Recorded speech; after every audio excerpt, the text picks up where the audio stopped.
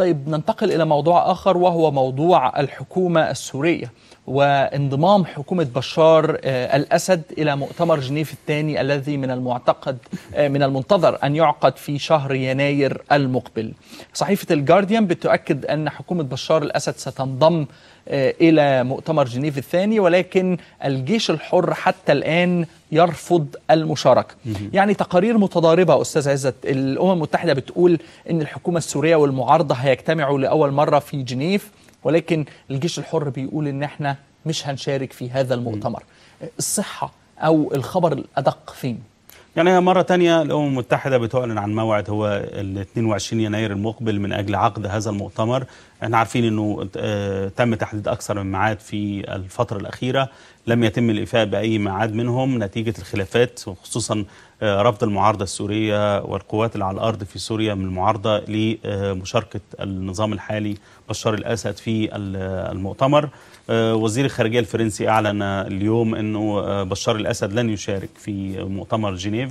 لكن الصيغة نفسها بتاعت أن عدم المشاركة هل هل معنى ذلك أن الحكومة من الذي سيمثل الحكومة السورية؟ أعتقد أن ده محل خلاف لا زال قائم. عشان كده الجيش السوري الحر أعلن أن هو لن يشارك لأنه الوضع على الأرض في سوريا واضح إن هو بيميل تدريجيا إلى صالح القوات الحكومية. م. وده مش في مصلحة كل كافة أطياف المعارضة السورية في الوقت الحالي إنها تنتظر تحقيق مكسب تنتظر وصول أسلحة ربما من قوى غربية. لتعديل الأوضاع على الأرض لكن ده أعتقد إنه في المدى المستقبل المنظور ليس إمكان إمكانية تحقيقه قبل 22 يناير. أعتقد إنه ده يعني غير واقعي وغير عملي. وبالتالي أنا متوقع إنه هيحصل عرقلة جديدة لعقد المؤتمر. طيب إحنا كان في تصريحات لواشنطن بخصوص هذا المؤتمر بتقول إنه يجب أن يكون جزءا من الترتيبات الخاصة بإنهاء الحرب الأهلية في سوريا أن يرحل بشار الأسد م. عن السلطة. إزاي من المتوقع أن تشارك حكومة بشار الأسد في هذا المؤتمر ويكون أحد الشروط الأساسية لهذا المؤتمر أن ترحل حكومة بشار م. الأسد، يعني ده إحنا وإحنا بنبص للموضوع بنظرة منطقية نقول إنه صعب إن أنت تحط هذا الشرط في هذا الميعاد وتتوقع نجاح مؤتمر جنيف 2 م. يعني هو المعارضة قبلت بفكرة حكومة انتقالية لكن زي ما أنا قلت في مكاسب على الأرض.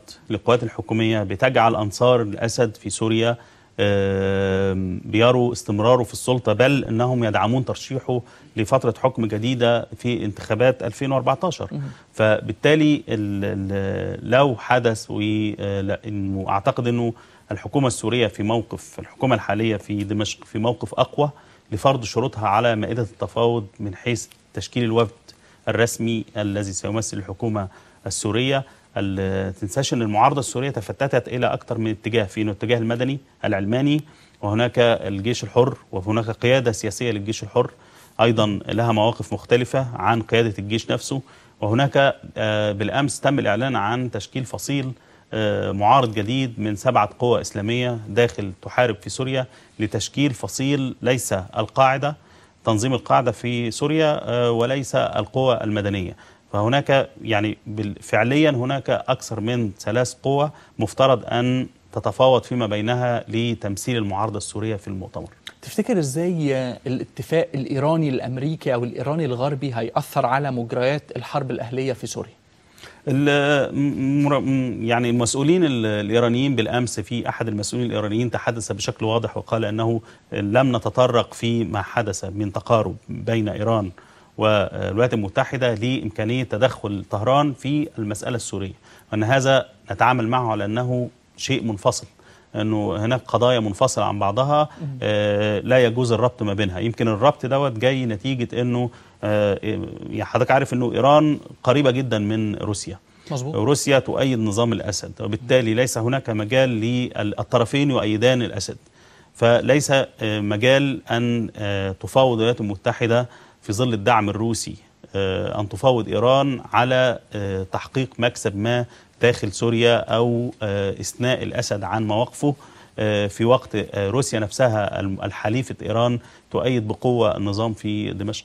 فصل القضايا قد يكون ضروري في هذه اللحظة. ربما تكون هذا أحد شروط التفاوض التي نجحت طهران في وضعها على المائدة إنه آه، فصل القضايا عن بعضها والتعامل مع قضية النووي بعيدا عن قضايا إقليمية أخرى. طيب.